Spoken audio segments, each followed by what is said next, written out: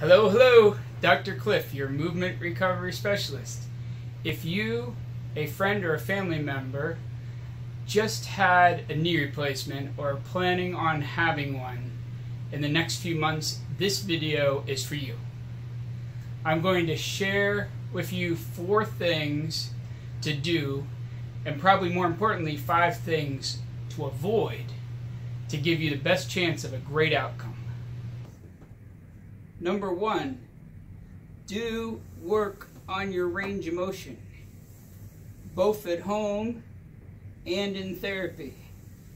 The sooner you can get your leg to go the whole way straight, what we call extension, and bend to at least probably 120 degrees, definitely over 90, the faster and better overall your recovery will be. Number two, don't get rid of your walker or cane too soon. Trying to walk without this the day or two after surgery and hobbling around like this doesn't make you get better any faster. It only puts more stress on your knee and slows down your recovery. Use the walker.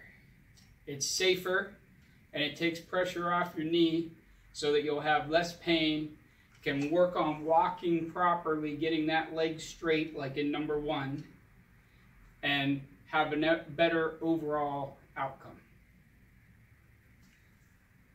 Number three, don't compare yourself to someone else or even to your other knee if this is the second time you've had a knee replacement. Every surgery is different. Every person is different.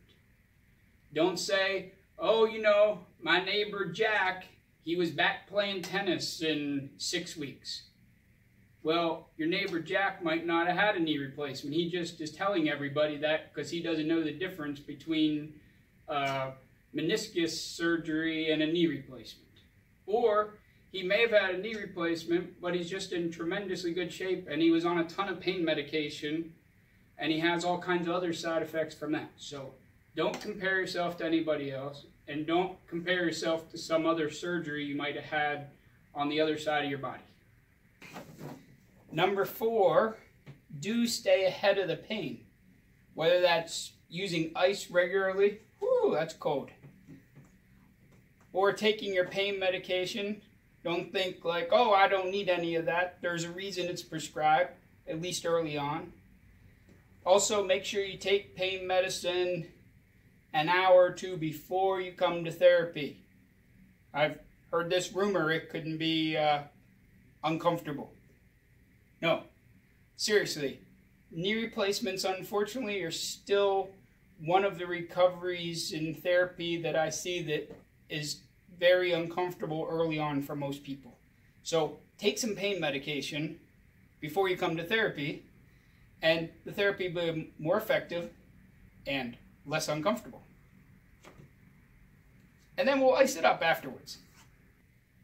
Number five, do perform those crazy home exercises that your therapist gave you.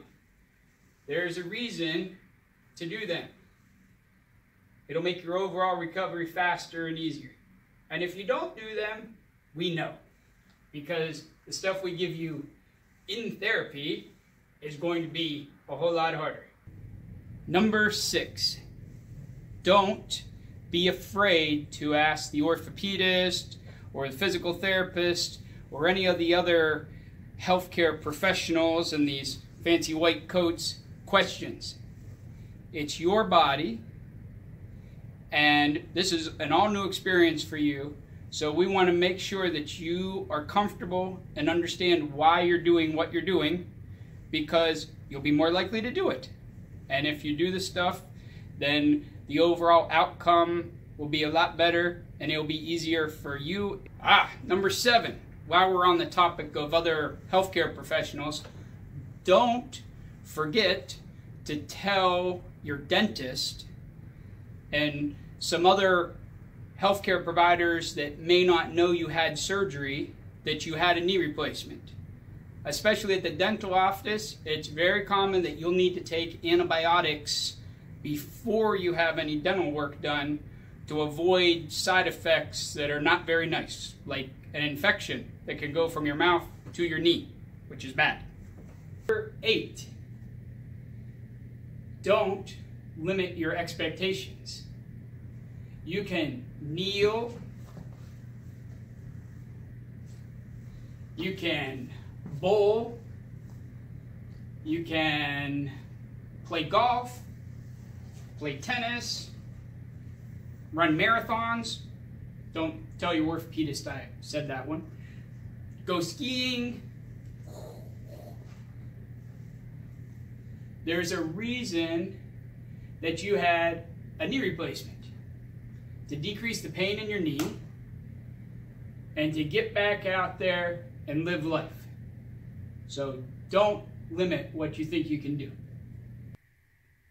Number nine, do remember that over 90% of people that have a knee replacement have a great outcome.